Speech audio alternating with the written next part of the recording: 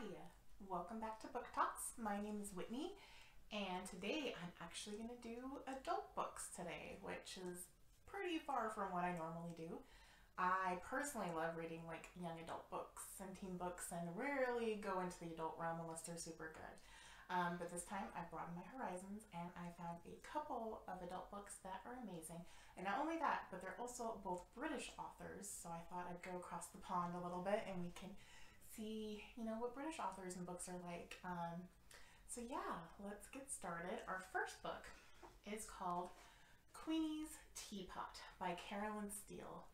So this one is um, a trilogy. So this is the first book in the series and it follows um, basically it's about Britain's um, political system. When democracy is no longer working, they decide to get rid of it. And a cohort of random British citizens are picked to help run the country. They literally just get called to duty basically and say, you guys are it, you're running our country, help us figure it out. And Queenie is the main character in this, and she is called to help as well with some other characters like Doug and Deborah and Andy, probably missing a few. But they're all called you know, to help run the country, the British, you know, like empire and stuff. And um, when I was first reading it, I was thinking about how scary that would be if it happened here. If I all of a sudden got a letter or a phone call saying, hey, like, we're getting rid of our whole democracy and our whole like way of government and you get to help decide what we get to do sounds terrifying and they kind of go through that too this whole story kind of follows these characters and kind of like the throes and the ups and downs of what that is actually like to be able to figure that out. And poor Queenie, when they're doing this, they're all trying to figure out what everyone's like specialty is, what their skill sets are, what they could be good at and helping with. And poor Queenie, like she doesn't feel like she's good at anything. So naturally she becomes head of state, you know. Where else would you put her? And so it follows her journey um, figuring out that as well. Um, I don't want to give too much away. I will say when I first read this, I didn't know much about um, the British government or anything like that.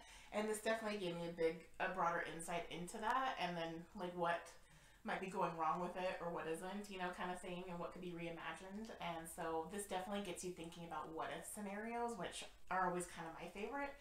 And I will say it's a little almost like dystopian, like a little bit like the world is changing. It's not so, it's not as dramatic as that, but it's a little bit like you have to think about you know those situations and it's actually really interesting. Um, they it's described as like a political satire and there are like those moments of like really humorous moments. I mean it's british humor but i find that funny. Um, and i think what i enjoyed most about this book is the character development. Like each character felt like a person. It didn't feel like a one-off like oh we need to add like one extra person. Let's just give them a generic personality. Not at all. Like all these characters felt like people and I either ended up liking them or I really didn't like them at all. Like Deborah, like she wasn't my favorite character. She kind of picked, like annoyed me, which tells me it was a good book though, because then it made me her feel like a real character, where I was like, oh, not my favorite kind of thing. And then Queenie, absolutely loved, obviously, so I could invest in her. So yeah, again, I suppose a trilogy. We do have this one at the Meridian Public Library. You can place a hold on it. Um, I we are getting the second one as well as the third one. Um, not sure when those will be here, but I know we're ordering those, so they will be there for you to get and check out. I will say this is um, a slight little biased for this one. Um, I actually have know and have met Carolyn Steele. She has unfortunately recently passed away, um, but she is one of my best friends. It's her mother-in-law, and um, it was super exciting. I got to read this before I ever met her, so it was super fun to read it and fall in love with it and then get to meet the person and it definitely reflects her as a person and kind of her writing style and stuff. So it's kind of a small dedication to her that she's passed now, um, but her stories get to live on and it really is a good read. Um, so go ahead and check that one out. Okay, so we did say I have one more and again, British author, adult fiction, totally going out of my comfort zone with these ones. But uh, this one's called The Midnight Library.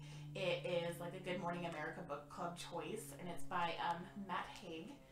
And um, this one was on our like lucky day shelf. If anyone's ever been into the library, we have like a little shelf uh, with like the hot titles, like the new books, where like there's like a long line of holds for them, and so you can never get them.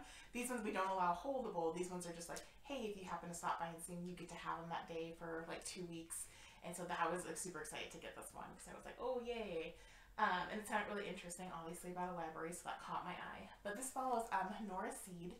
She is a 35 year old who is uh.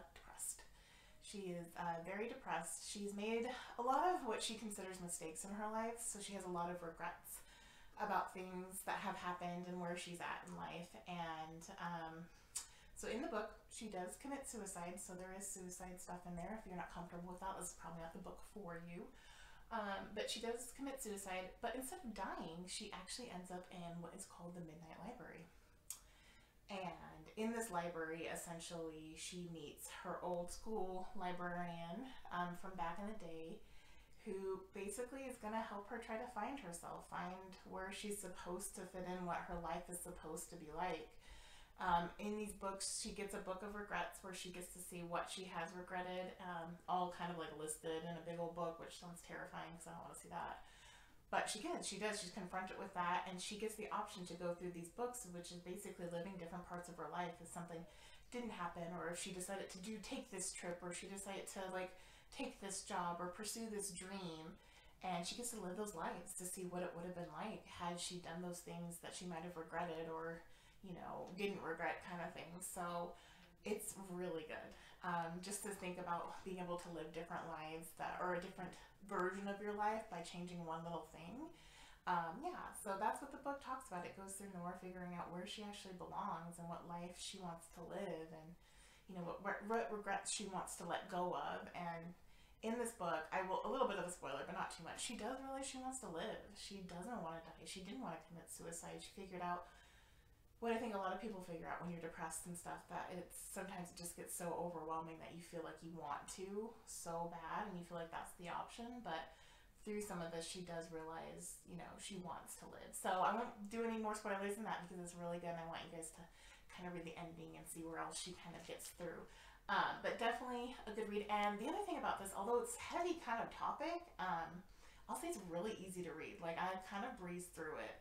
And that's really hard for me because sometimes it's been really hard for me to sit down and read anything lately, let alone like a heavy topic like suicide. So it's a very good read, super easy. Um, this one's also you can check out. Like I said, there's probably a long hold list, but check out wait to see if you see copies in our lucky day as well. But you can get it um, through our catalog online. Place a hold, at least get in line for it because it definitely is worth the read.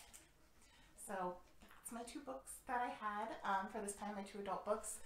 Um, both really great books. I hope you go and check them out. If you guys do, you know, leave a comment either on Facebook or YouTube or wherever this video ends up. Um, and yeah, tell me if you like it, or if you have like other British authors that you might know, because I'm kind of getting into them. Like I'm definitely enjoying them more than some of the other ones I've read lately. So thank you guys for tuning in. I'll see you next time.